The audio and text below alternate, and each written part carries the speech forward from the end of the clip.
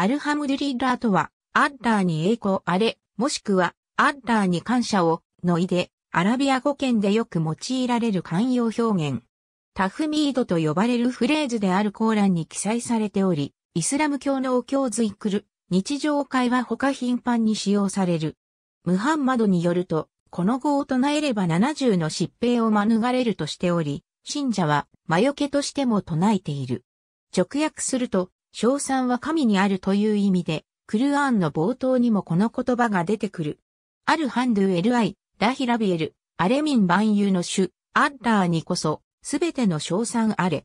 クルアーン第一章回単、第二節、アルハムドリッラーと書かれたアラビア書道の作品。アラビア語圏においては、おかげさまで、の意味で会話に頻繁に用いられるほか、アラビア書道作品の題材になったりもする。ありがとうございます。